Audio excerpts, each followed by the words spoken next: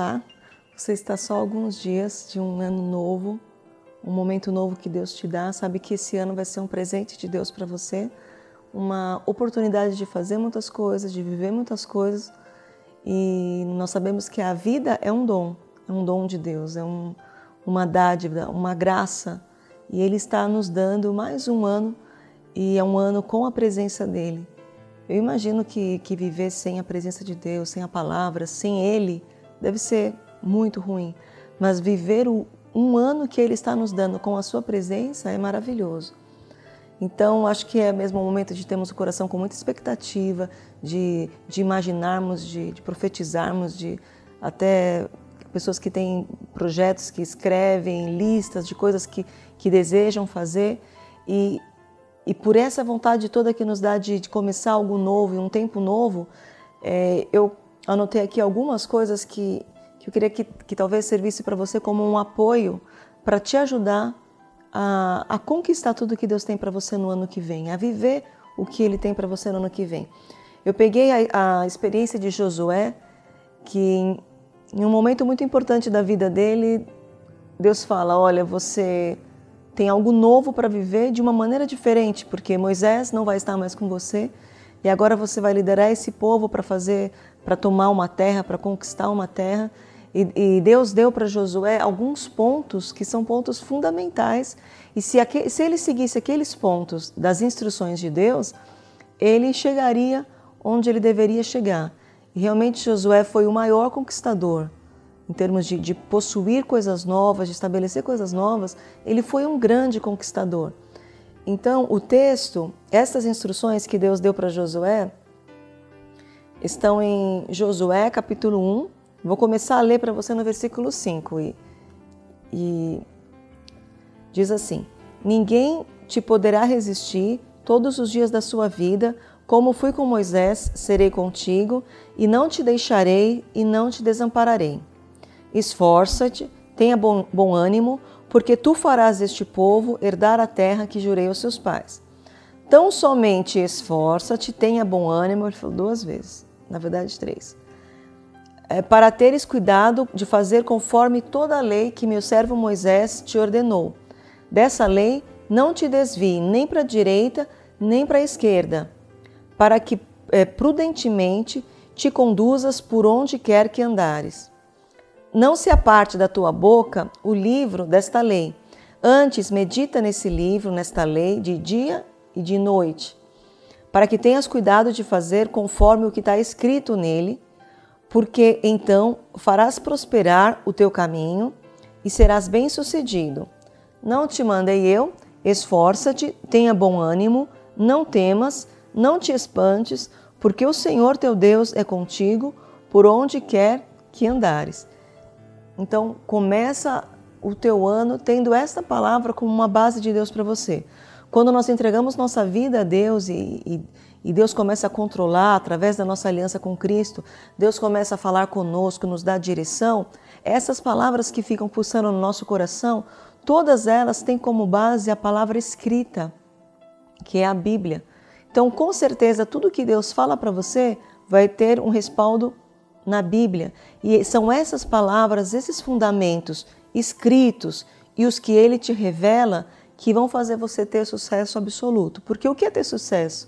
É viver exatamente aquilo que Deus planejou para você. Porque o que ele planejou para você é o que vai dar certo, é o que é eterno, é o que não vai é, se abalar com uma tempestade, com um dia mal e tudo mais. Então, primeiro, é, saiba como diz o primeiro versículo que nós lemos, ele nunca te abandona. Começa o teu ano sabendo que você vai conquistar porque está escrito: Não te deixarei e não te abandonarei. Uma coisa você tem que saber: se você tem uma aliança com Deus, Ele não vai te abandonar. Todos os seus projetos do ano que vem, você estando com Ele, Ele estará presente. Item 2: esforço e bom ânimo. Essas características são fundamentais. Como que você vai ser um conquistador? Você vai é, entrar numa faculdade, você vai receber uma promoção, você vai fazer uma pós, você vai restaurar sua família? Como você vai ter grandes conquistas se você não empenhar força? E se você não empenhar alegria, disposição, vontade? Então, esforço e bom ânimo significa força, esforço, tempo, é, ânimo, alegria, vontade, para que você possa viver tudo isso que Deus tem para você. Veja, é um tempo, um ano novo, um ano de realizações e coisas novas de Deus.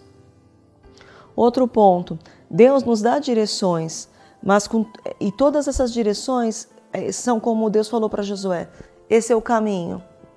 Vai aparecer em algum dia uma porta que você vai falar assim: ai, que fácil, que bom isso. Mas veja se está conforme a palavra de Deus. Uma coisa importante: não se afasta nem para a direita nem para a esquerda, não sai, não procura um atalho, não procura a maneira mais fácil. Sempre procura, eu vou fazer isso, mas a, a, a palavra de Deus, a escritura e o que ele te revelou tem que ser tem que ser a base. Tudo o que você fizer que estiver de acordo com as Escrituras vai prosperar. E, e para a gente terminar, então, primeiro, é, Ele está com você o tempo todo. Segundo, seja um grande conquistador esse ano com esforço e ânimo, disposição. E terceiro, tenha a Bíblia e a revelação que Deus te dá como uma base. Vai passar por um momento difícil? Não, eu vou passar, porque Deus falou comigo, porque está escrito. E se está escrito, se Deus falou comigo, é porque vai acontecer. E aí eu concluo falando para você, a última partezinha que nós lemos, Deus disse assim: Então fará prosperar o teu caminho e será bem sucedido, com bom ânimo, é, sabendo que Ele está sempre com você, é, tendo a palavra como base de tudo, com esforço, então fará prosperar o teu caminho e será bem sucedido. Muitas pessoas pensam que se fizer uma festa linda de ano novo, o ano delas começou super bem. Ai, se eu passar o ano novo na praia, vai ser lindo. Se eu passar o ano novo é, no Nordeste, vai ser maravilhoso. E o que, que você vai fazer dia 2 de janeiro, dia 3, dia 4? Vai te faltar estratégia. O que eu estou te falando é uma estratégia. Josué 1 para você é estratégia. Você tem que ter Deus, você tem que ter esforço, tem que ter alegria e tem que nunca tirar os seus pés dessa palavra.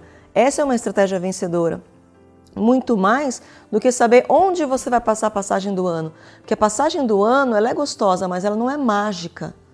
Ela não tem poder nela só. É gostoso celebrar, festejar, curtir. Mas não tem estratégia, não tem poder. Ah, eu passei o ano, agora a fadinha fez din-din e tá tudo lindo. Não é isso. O poder está em seguir. Josué tinha um grande desafio pela frente, conquistar o lugar mais difícil que, que, ele, que ele poderia ir. Mas Deus deu estratégia. Eu vou te dar três coisinhas para você. Saiba que eu estou com você, força e ânimo, e não desvia a sua, os seus pés dessa palavra e você vai ser muito sucedido, muito bem sucedido. Eu tenho certeza que se você começar seu ano, não com o pé direito, não com a roupa branca, não é isso que importa, você quer pôr a roupa que for, mas você tem que começar o ano sabendo essas três coisas, sabendo que a palavra é tudo para gente. Eu abençoo o seu ano, o seu ano vai ser maravilhoso, porque você não é uma pessoa de, de, de, de, hábitos só supersticiosos, superficiais. Você é uma pessoa profunda, uma pessoa de, de Deus e você vai viver o melhor dele em 2015. Até mais.